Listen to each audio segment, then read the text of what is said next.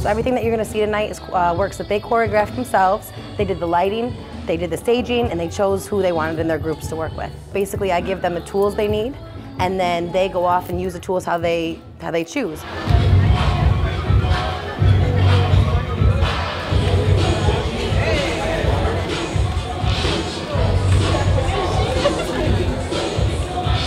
It's a whole different experience, I think. It's, it's really interesting to see the way everybody works together. It opens up a lot of different opportunities for a lot of students.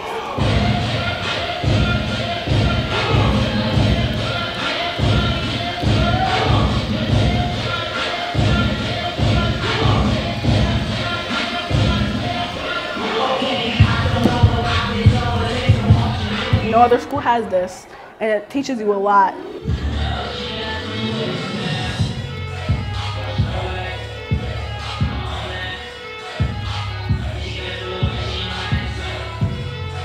I like this opportunity that we have that other areas around us really don't have. So this was a good opportunity for us.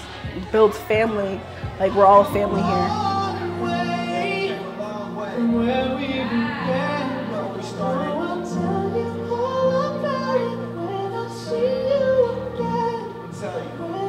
see.